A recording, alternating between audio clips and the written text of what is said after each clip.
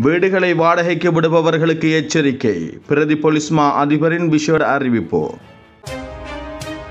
இது ஸ்கை தமிழின் செய்தி அறிக்கை. இந்த நாட்களில் அதிக பணத்தை செலுத்தி வாடகைக்கு வீடுகளுக்கு வருபவர்கள் தொடர்பில் எச்சரிக்கை விடுக்கப்பட்டுள்ளது. வீட்டு உரிமையாளர்கள் மிகவும் அவதானமாக இருக்குமாறு பிரதி பொலிஸ்மா அதிபர் மற்றும் போலீஸ் ஊடக பேச்சாளர் நிஹால் தல்துவ கோரிக்கை விடுத்துள்ளார்.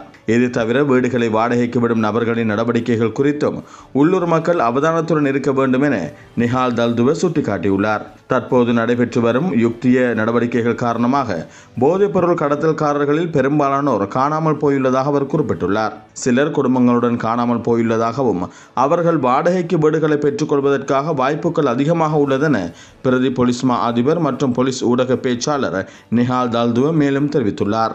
இது போன்று பல செய்திகளை தெரிந்து கொள்ள நமது ஸ்கை தமிழ் யூடியூப் சேனலை சப்ஸ்கிரைப் செய்து அருகில் உள்ள பெல் பட்டனை கிளிக் செய்யுங்கள். மேலும் பல செய்திகளை அறிந்து கொள்ள Sky Tamil news dot com இணையதளத்தை பார்வையிடுங்கள்.